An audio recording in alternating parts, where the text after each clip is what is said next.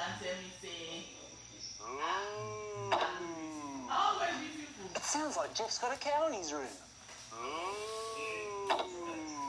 What's a cow doing in Jeff's room?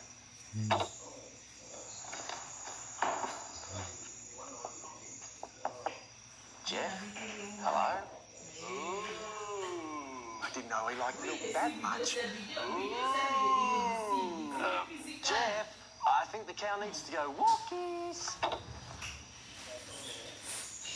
wow. Ooh. I eat grass and I moo all day. I'm a cow.